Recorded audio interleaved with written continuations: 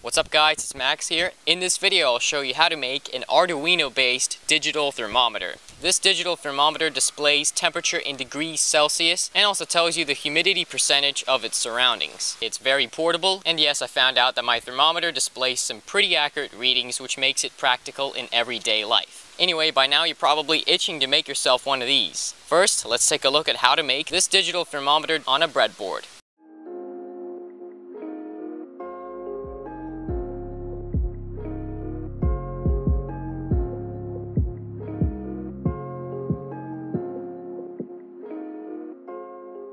The first thing you're going to want to do is take your 16 by 2 LCD screen and stick it into the breadboard. Now let's start connecting things. Connect the backlight cathode to ground, connect the ground rail to where it says ground on the UNO, connect pin 2 or the anode of the LCD to the positive rail. The first four LCD data pins hook up directly to the UNO's digital pins 9, 10, 11, and 12. The LCD's enable pin directly goes to digital pin 8 on the Arduino. LCD pin 5 goes to ground. Pin 4 or register select pin of the LCD directly goes to D7 on the UNO. Pin 3 of the LCD or the contrast pin goes to the right side of the breadboard where the potentiometer will be sitting. LCD 5 volts positive pin goes to the positive rail.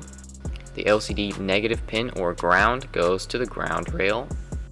Now stick your 10K potentiometer into the breadboard the left pin connects with the positive rail and the right pin connects with the ground rail. Then take your DHT11 temperature and humidity sensor, connect the female to male DuPont wires up to it, connect the positive and ground pins into the breadboard. Then connect the data pin of the DHT11 to digital pin 2 on the Arduino Uno. And the last connection is the 5 volts positive pin on the UNO goes to the positive rail on the breadboard.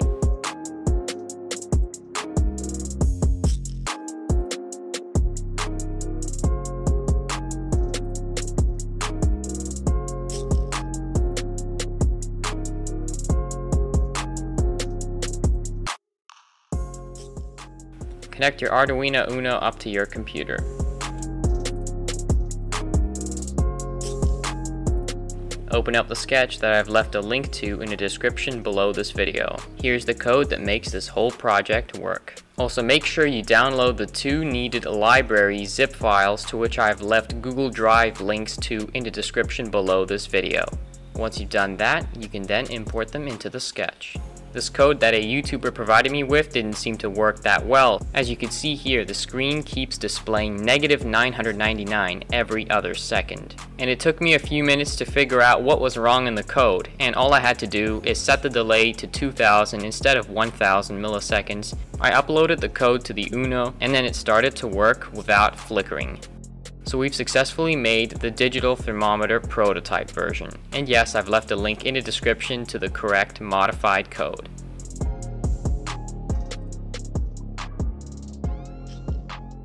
Please excuse the dimness of the LCD screen due to the weak 9 volt battery. Okay, so you've seen how to make the prototype digital thermometer. Now let's put it inside a box. Let's make it.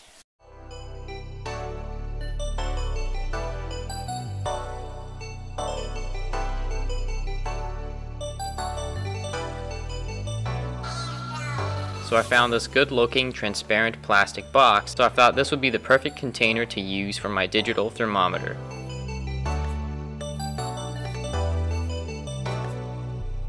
Using a felt pen on this box, I'm going to outline where the components will be peeking out from, or basically where they're going to sit.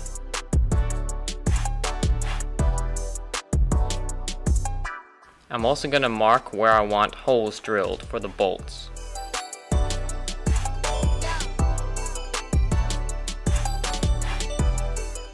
Instead of making the circuit on a breadboard, I decided to make everything on this small PCB.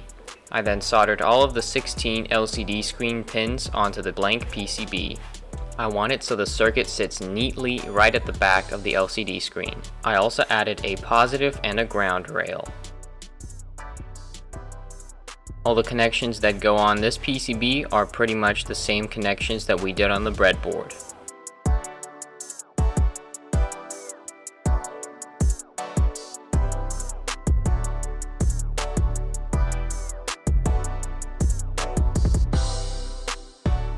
These six wires here are for data and these two are for power.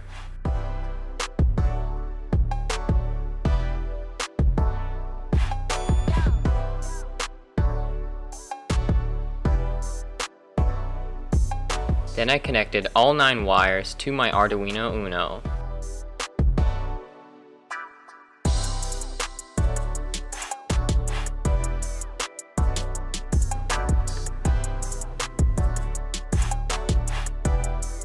Before putting the whole circuit into the transparent box, I quickly made a 7.4 volt 2 cell lithium ion battery from these two 18650 cells. I also soldered on a female JST type connector to my Uno. Plugging the battery in, my digital thermometer circuit seems to work fine. The last thing I would like to add to my circuit is an on-off switch. But before soldering the actual switch on, I decided to wait until I have all the holes cut out on the plastic box, then it'll be easier that way. Using a drill machine and a really small drill bit is how I'm going to cut these little selected pieces of plastic out.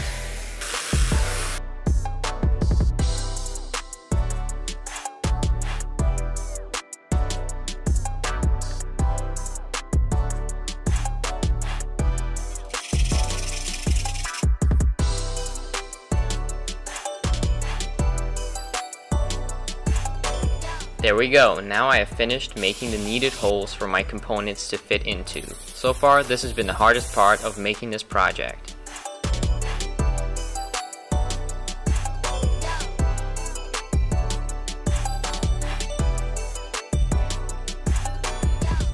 Now I'm going to fit all of the components and parts into the clear box, and some of them will even be bolted.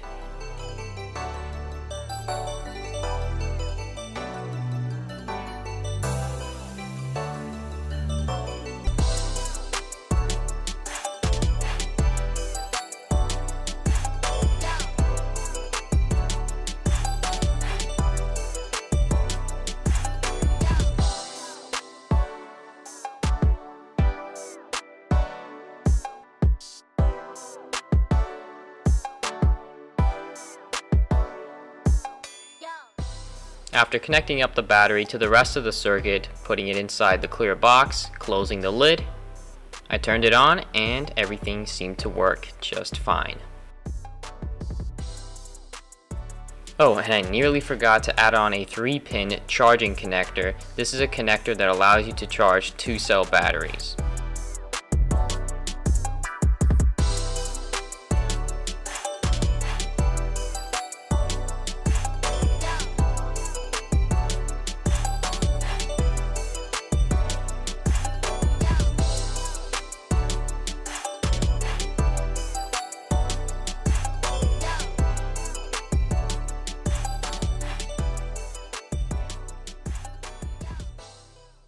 Now I'm finished making my own Arduino based digital thermometer.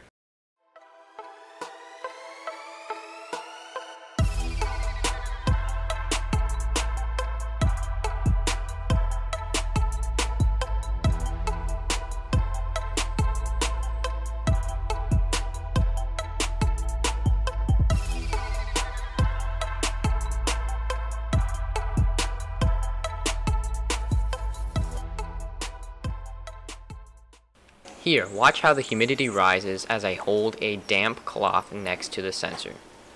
There you go, you can see it rise from 60 all the way up to 80, 81. You can see the humidity rising. The humidity is already up to 95%. Now look at the temperature rising on the screen as I hold a flame near the sensor. Here's a little comparison between my bicycle speedometer computer thingy and the digital thermometer that I just made. You can see that the temperature readings are pretty much the exact same on both, so my digital thermometer is pretty accurate. This digital thermometer not only can be put on a flat surface, such as a desk or just a table, but you can also put it up on a wall if you drilled some holes in the back and then added some little hooks on your wall, and then you could have a wall display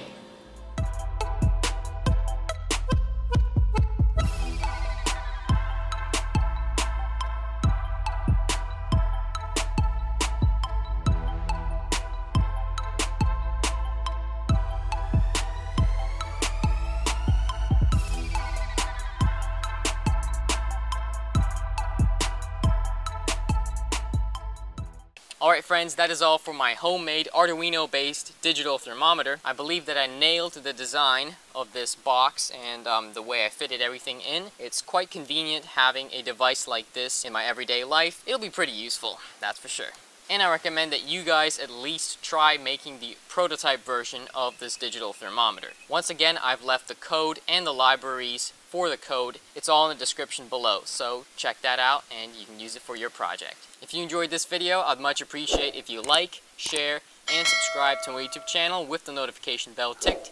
If you want to make a financial donation to my work, then you can email me for more information on that. I've left my email in the description below. Follow me on Instagram at max.imagination. Thanks a lot for watching guys, and I'll catch you in the next one.